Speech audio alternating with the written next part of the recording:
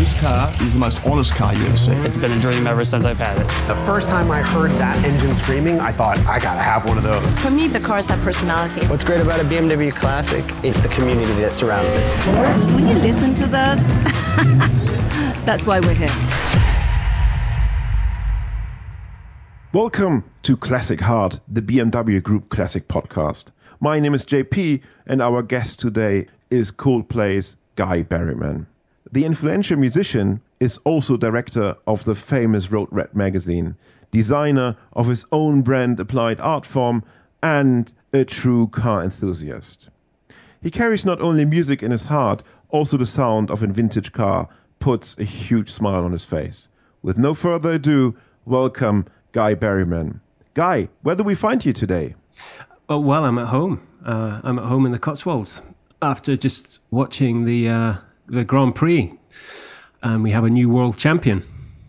A new world champion, and I assume there was some celebration. At least fifty percent of the Berryman household.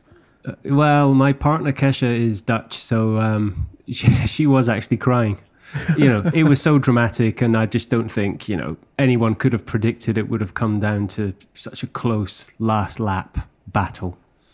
Absolutely. And, uh, you know, this. I, I think what we witnessed really was once in a lifetime kind of championship finale. Once in a lifetime, indeed. The battle between Hamilton and Verstappen was just epic.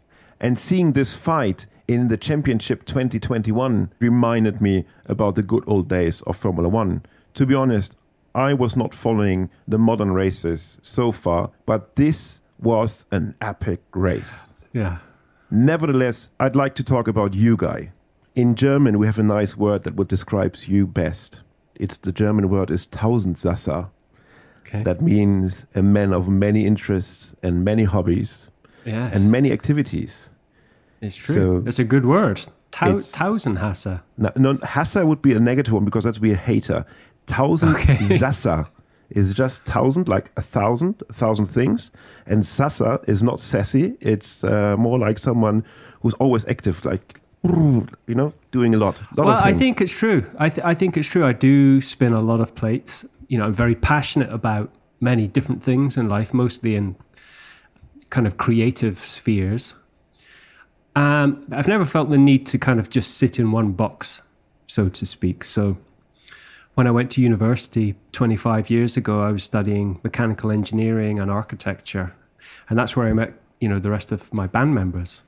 Um, you know, as a teenager, I was always hugely passionate about music and learning instruments, and I really wanted to become a bass player. But of course, when you go to university, you you know you have this idea you might find some like-minded friends to form a band with, but you know it's kind of that falls down to some kind of luck of the draw as to whether you meet people and, and, and then whether you you can go on to form a successful group.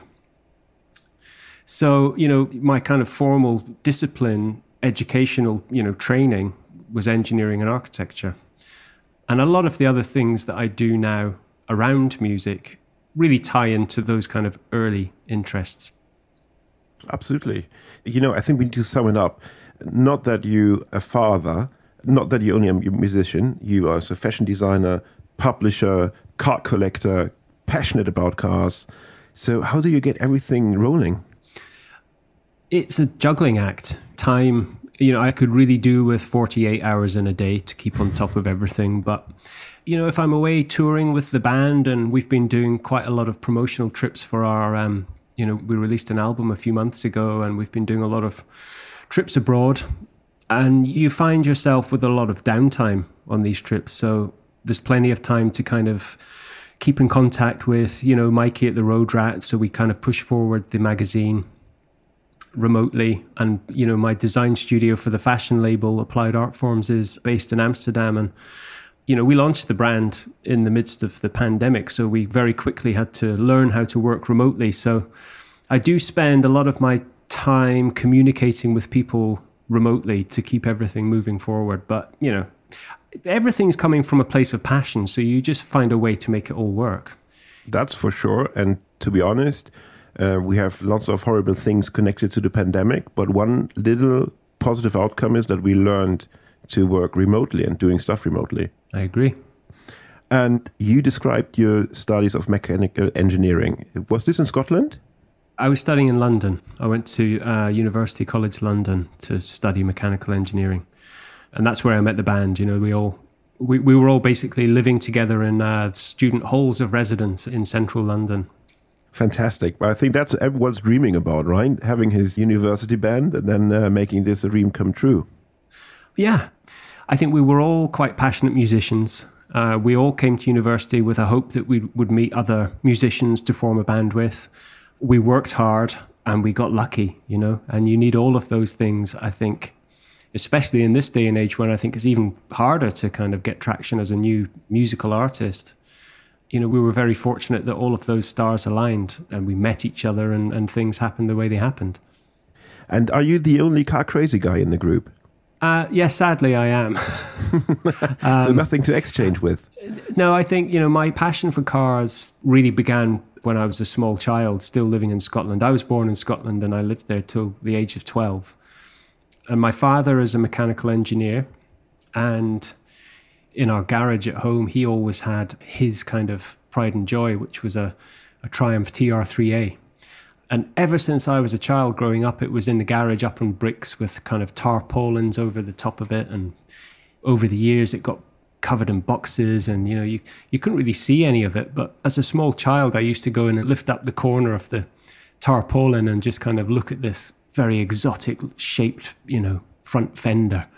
And uh, I was always chastising him to restore it because I just felt so sad for this car that he bought this. He he bought the car when he was in his early twenties. Oh, really? And I just always felt so sad that you know he was never getting around to doing it up. So actually, relatively recently, I would say in the last ten years or so, I finally said to him, "Look, Dad, you're never going to get around to doing this car up. You've got to just find the best Triumph TR3A restorer you can find, and I will pay for it to be done because I want to see you driving this thing. And so he did, and it was restored. And I believe it to be the most expensive TR3A in the world in existence. but I remember, I think, when was it? When was the first TKC where we met? I think it was the first issue of Road Rat, wasn't it? Or the second Yeah. one with Hamilton on the on the cover came out. yes, I think- it was a while ago. Yeah, and uh, Rupert was your fa- is your father? Rupert, yeah, well, yeah, Yeah. you've met my dad. Yes, we spoke about this, and you know he was sitting in your. Would you have? I think you took the Zagato, no? Yes, I brought I brought along a little Porsche Speedster Zagato on that particular trip, and my dad was my uh, my co-pilot that day. And he was so happy to doing this together with you. He was smiling from the one side to the other side of the face, and he was telling me about the TR3 actually. Yeah, well, he was just very happy to be there. He's a huge fan of Anthony Bamford, and he believes he's doing great things for British engineering, which I believe he is. And um, he and Anthony are in quite regular communication now. My dad shares lots of ideas with him, and he's always so generous and writing back to my dad, and always puts a huge smile on his face. Nice. This is how you can understand this passion for cars. It's not about the cars as a center and centerfold. It's more about the people around it, and that's really what I like. Yeah. I think certainly part of the emphasis of my magazine is to celebrate the human stories behind cars. I think a car in isolation is quite a boring thing, really. But the stories about how it, you know, came into being is what fascinates me. I think my interest in cars really comes from the fact that it combines so many disciplines I'm interested in into one object. You know, cars are of course engineering with the you know, with the engine and the drivetrains and interesting suspensions. And I think the kind of cars that we're particularly interested in are these kind of mid century cars, which to me are just like masterpieces of sculpture. So, you know, there's so many things to love about cars. It is, and the stories behind it. That's also what at Classic Driver interests us, right? It's again, as you said, the people and story. And uh, you know, I just look into my shelf, which I have in my kitchen, where my dearest books and magazines are, and uh, it's just Road Rat, the 917 edition. I think it was the perfect example of how motor journalism slash entertaining education should look like. For me, it was one of the masterpieces of journalism in that sense, and also giving it so much space. Incredible. But I would like to jump a bit back in your own personal car history. So your first car was definitely not the, your father's car stored back in the garage, now restored without question in a perfectly manner. What was your first very own car? You know, strangely, I didn't start driving until I was in my early 20s. Really? Um, yeah. Um, because, you know, I was learning to drive when I was living down in Kent when I was at school, uh, and I failed my driving test. And then I went Why? to university. It's quite embarrassing, really. I, I don't, I'm I was- totally open. It's just you and me. well, it was very unfortunate. I was driving out of the test center at the beginning of the test, and um, and the exit was on a slight camber, and um, I stopped on a kind of an, an upwards camber, and um, I didn't use the handbrake when I went to pull away, and the car rolled backwards a little bit, and uh, unfortunately there was a car behind me, and I and I hit the car behind me. So technically, I'd failed my test before I'd even left the. Uh, the test, the test center. So you know, I'm embarrassed to say my uh, my driving skills uh, were not great when I learned to drive. So I failed, and then I went to university. And of course, when you're in London, you don't really need a car when you're a student. And then, and then I just finally realised I needed to, you know, get my license a bit later on. And the first car I bought was um, was a Mini, and one of the new Minis. Oh, good decision though. Yeah, it was pretty good. It was pretty good. And then the second car I bought was, and this was still in my early 20s. I went from a Mini very quickly to uh, an Aston V8 Vantage, 2006 model. And then about a month later, I bought Ford GT. So, I, so I passed my test, and within a few months, I was I was driving around in a Ford GT. You have to cope up with the other guys, right? So that Yeah. was the reason why you'd go to fast lane. You have to keep up. So I moved very quickly into fast cars, but I have to say that it was never really me that mm-hmm. car. I've never really been into kind of modern, you know, performance cars actually, and so that car didn't stay around long. Really, my passion lies with cars from the 1960s. You know, mm-hmm. particularly European sports cars. Broadly, that's what forms my own personal collection now. Let's speak a bit about that one because, of course, I remember in 2017 you got brand new. There was a the Citroen SM joining, I think a German car from Göttingen or something like this, if Yes. I remember correctly. There was a Bugatti Veyron sitting there also, which Yeah. I remember. So it's really like it's a big span from an Zagato, uh, little Zagato Porsche to Citroen SM, Bugatti, and lots of other things in between. Porsche 914, all these kind of things like this. Um, so, how would you describe your taste in cars? Well, I think it's, you know, by the way, the Veyron is gone now. We can talk about that a little bit because, you know, that was a car that I bought not because I loved it. I bought it because I thought I was being clever. It's a stupid car. I really hate it, actually. and so now that that's gone, you know, my collection is really consisting of European sports cars from the 1960s mm-hmm. because they have the curves, you know, they have the shapes and, you know, they were styled by hand. And I just think cars that are designed in computers nowadays, they kind of all tend to look so generic and with all of these kind of details and inlets and wings. And I just really don't like them. Yeah. Even though there's this good old uh, design follows function thing, and I think design should follow function, but you can design it nicely. And now it's just looking more brutal. And they grew so much, they're so big, it's ridiculous, in my opinion. Yeah. You know, certainly a lot of sports cars and supercars and hypercars nowadays, they're designed to look good on Instagram for, you know, 14 year old boys Yeah. who are not the guys that are buying them. So my passion really just falls in that sweet spot of the 1960s. Everything I love is actually kind of coming from that era, this kind of mid century era, whether it be furniture design or music or cars or architecture. I just kind of really resonate with that style of design, that period of design. I know you're really into learning all about these decades.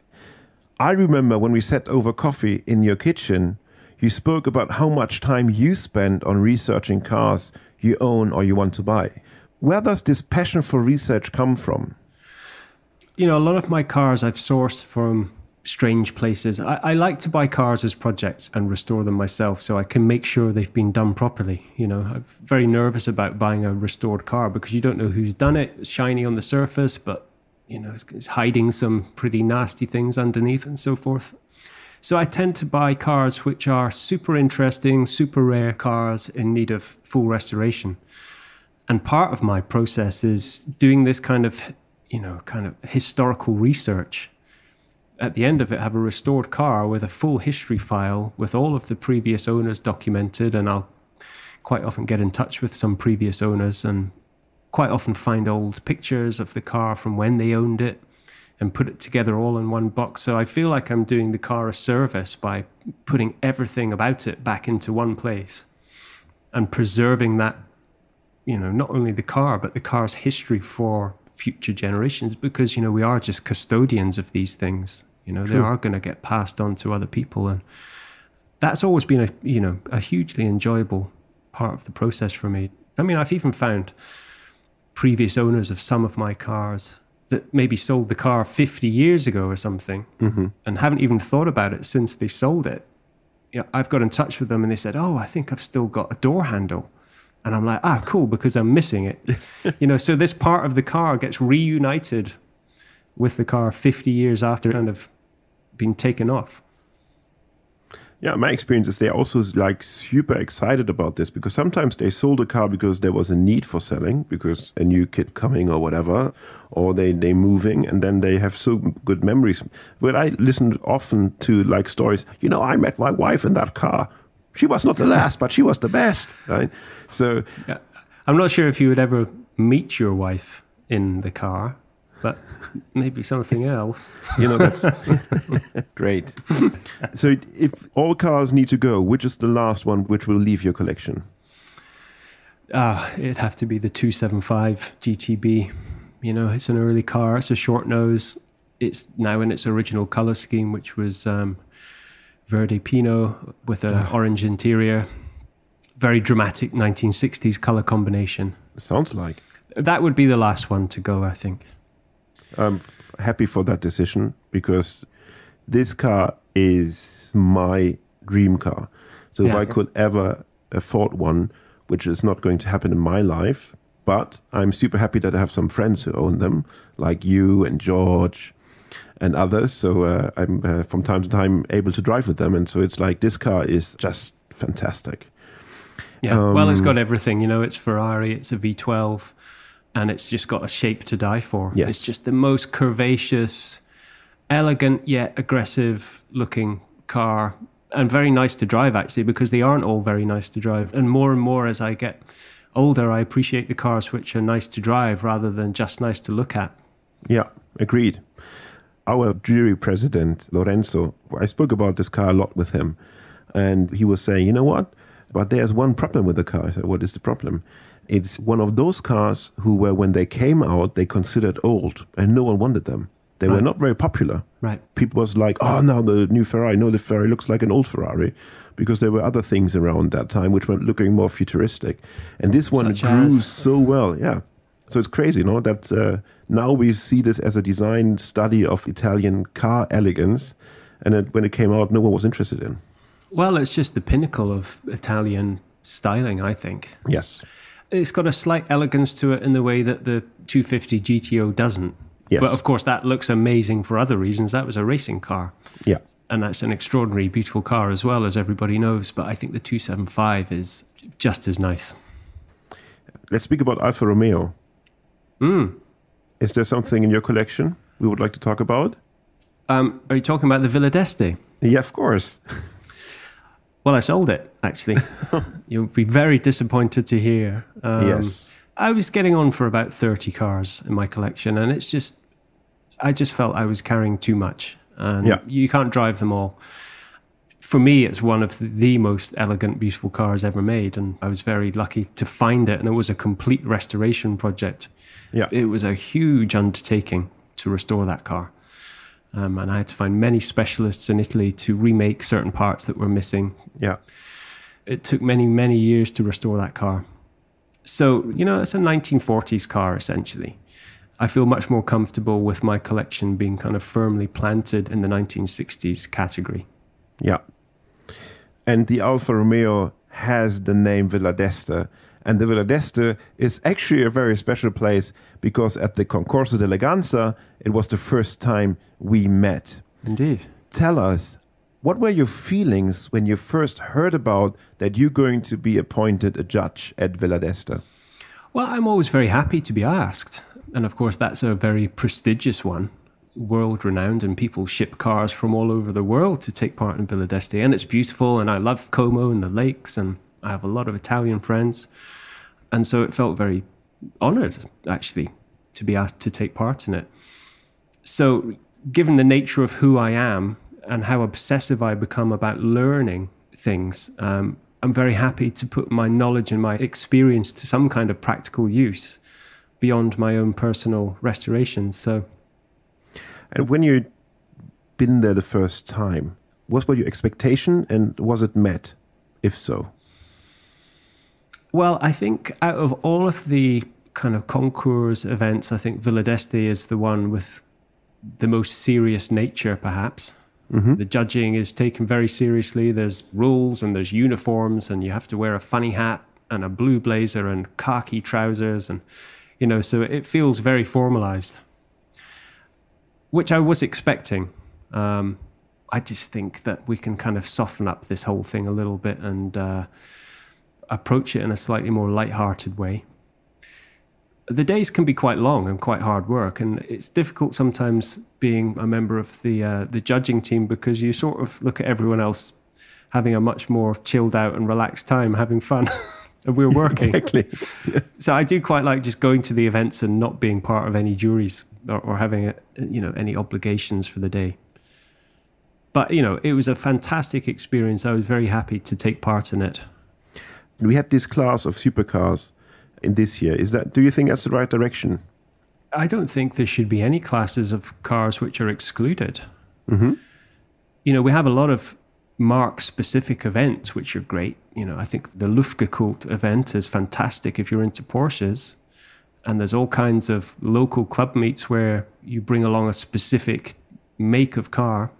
But I think these big events should really be trying to appeal to a very broad range of society. Yeah. And, that involves bringing in newer cars into the mix. So cars from the 90s, fantastic. And there's beautiful cars there and fantastic stories there to be told. And even newer cars, you know, from the 2000s. I, I think inclusivity should be the direction in which all of this travels. Agreed. Absolutely. It should be always like a mirror of society at its time. And let's not forget that the concourse events were a presentation of new cars. It was not like we're showing old cars.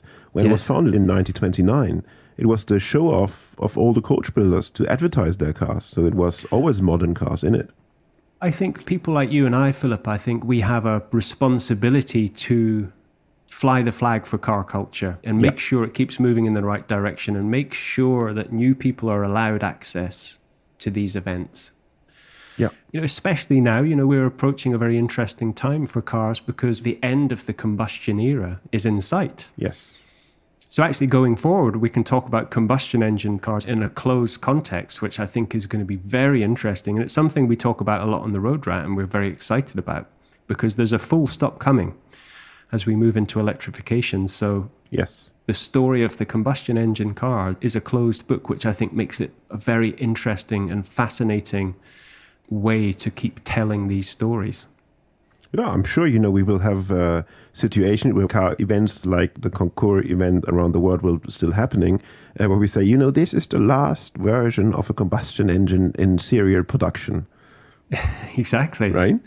And whatever car that's going to be, the last one that rolls off the production line is going to be something that collectors will clamor over. Yes, You know, Absolutely. maybe maybe it's a Ford Fiesta or something. I mean, I don't even know if they still make a Fiesta, but I think they should. wha- whatever car that is, it's going to be a very significant automobile. Yeah, definitely. I'm, I'm sure. I think they're already planning it. Who will get that prize? Let's speak about the present. Tell us more about Road Rat. Why was Road Rat needed? Um, it was very interesting to me that if you're into kind of even quite niche subjects, gardening or architecture or wine or collecting certain stamps or very unusual things, you could find a wide array of beautifully produced independent magazines for all of these different subjects.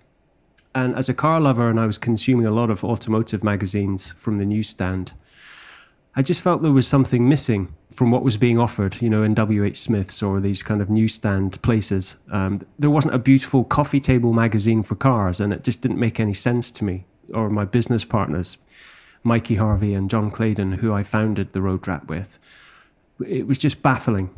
And so we just felt there was an opportunity to do it. And Mikey came from many, many years of editing Top Gear magazine. He has a, a huge editorial brain, lots of ideas, extremely creative. I have a passion for graphic design and photography. And our other partner, John Claydon, is just a huge car enthusiast. Mm-hmm. And so we thought, why don't we just give this a go? You know, let's just see if we can pull this together and, and make one and see if people like it. And uh, and the Road Rat was born from that quite simple idea, really. Who came up with the name? I think it came from Mikey, and it was derived from something to do with Niki Lauda, but I can't exactly remember the reason for that. No, wait. I'll have to get Mikey to fill in the blanks there, but essentially the name has a link to Niki Lauda. Nice. Everyone uh, who's listening and have no idea what Road Rat is, for me, it looks like an absolutely design and art piece. Every cover looks fantastic. You have special edition covers, always very focused on one or two topics in detail, and then lots of stuff around it. So, would you say that Road Rat is a bit also playground for your automotive passion? I think so. Um, the best way I can describe it is a coffee table magazine. So, one of the basic rules that we formulated when we were putting it together was it was something that you just would never feel comfortable throwing into the recycling bin. It's a collectible kind of, as you say, playground for automotive enthusiasts. And it covers old cars, it covers new cars, it covers design, you know, the history of, you know, Italian coach builders, it's racing, it's engineering, it celebrates automotive photography. We do lots of archival research and present interesting pictures that have never been seen before. Um, issue nine comes out next week, and um, the cover features Honda NSX, and we actually were given access to never before seen pictures of the development of the NSX from uh, Ayrton Senna's family. Mega. So we go the extra mile to really present something uh, as best we can. But like I say, it's designed to be something when you engage in it, you want to follow us, be part of the journey, be part of the the kind of the membership club, and just collect them all you know, this is a fantastic team, and I think Mikey is such a great character. I have to say, so all the guys at Road Rat are nice and super enthusiastic about uh, what they're doing, and you know, if it shows in a nice product, it looks fantastic uh, at the end. But would you say that you use your name also as a door opener sometimes? Does this work still in this world? It can help for sure, but nothing, nothing's ever a given. Yeah, you know, I've learned that you just have to do things the hard way and if I'm perfectly honest with you, the Road Rat has been an extremely difficult challenge. Mm. You know, we're about to launch our ninth edition, and they're big magazines. You know, they're sort of 270 pages each. You know, and it's built around nine central features, which are extremely well documented research pieces. And then, of course, we have the beginning of the magazine with smaller sections, and the end of the magazine with kind of smaller, more digestible pieces but it's a huge challenge, and there's been many a dark hmm. moment mm. on the you know on the journey. Um, you know, just questioning why we're doing this. You know, because publishing is hard, but we're all extremely excited for the future of the magazine. We've got some great plans for the next 12 to 18 months, and I think we'll see the Road Rat expanding as a brand into different types of content beyond the magazine. Oh, yes. We're all excited to see what will Road Rat deliver besides the magazine? But speaking of today and Corona times, we recently all had unusual free time. How did you keep yourself busy? Did you enjoy to spend more time with your cars or in your garage? I must admit, I've been very focused for the last 12 or 18 months on building out, you know, my fashion label. Mm-hmm. Um, which again is another extreme challenge, especially in a pandemic, because we make very it's very high quality clothes, therefore quite expensive. And we launched it when everybody was in lockdown and everybody was worried about their financial situation.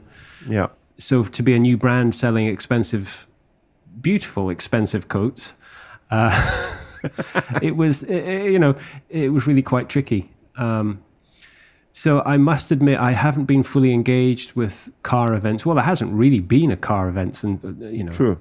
For a while, and I do miss them. Uh, before the pandemic, I think I was doing two or three road trips a year. That might have been a two or three day trip up and around the coast of Scotland, or it might have been a trans European drive from my house down to Italy. Yeah. Uh, seeing friends and meeting people along the way, you know, driving over the Dolomites. And, and I really miss it. So I'm hoping I can carve out some time next year to re-engage with the, you know, the driving of the cars rather than just looking at them in my garage. Yeah. A beautiful garage, I have to say. But I think cars are made to driven, so that's the idea of it. Right. It's true. Um, so Road Rat and also Applied Art Form, which is the fashion brand we were talking about, they are very artistic in a sense. And I really like it if there's a link towards art. And I think we should speak about also this in cars. So we saw lately that Jeff Koons did something on a BMW, which was presented uh, in in Villa d'Este. But looking at the art cars of the BMW Group Classic, which when I see them, I really like my heart beats like somewhere between my chin and my head because it's so fantastic to see them. Uh, do you have a favorite art car? Uh, well, it's probably the Warhol. Yeah, A rumor has it that's possibly the most valuable car in the world. I heard that too. I would take that one Yeah, if I'm allowed. I just saw it recently in Milan, standing in the window of Larusmiani, which is like really fantastic. And I really like that. If Yeah. a car brand is so like easygoing, saying, "Yeah, of course we put your car in your showroom, no problem." And I remember the first time I saw the car, I was even allowed to get close to it. There was a pre-program of a Formula One race at, I think Nürburgring or Hockenheim. I'm not sure which one was it actually, because I was just getting in and out, and I saw this car standing there, and I heard so much about it. I wrote so much about it, and then seeing it in person, it's brilliant. And you know what, guy? What also would be brilliant is if you could provide our listeners with your perfect road trip playlist. Because we see this podcast not only as a podcast, we also would like to see it as a little service provider and you know who to ask best for this kind of playlist. Would you do that for us? okay, I'll make you a playlist. That's fine. That would be fantastic. Yeah, my pleasure. That's very cool. We come to an end now. I think we we touched all the points that Okay. I'd like to touch and talk to you about, and it's always a pleasure having you because uh, it's always inspiring that uh, we see someone who's a true thousand Tausendsassa. And I think the next applied art form should have the word Tausendsassa on it. And I hope so much that we see us in person very soon. Yeah. I will see I'd you love that. definitely in Berlin because I already got tickets for the concert. Great. Yes, you're coming, aren't you? Yes. I look forward to that. But we'll see each other before then, Philip, I hope. I hope. Uh, we'll be in London sometime. So thank you very much for your time. Pleasure. It was such a fantastic uh, chat with you. Thank you very much, Guy Berryman. Thank you.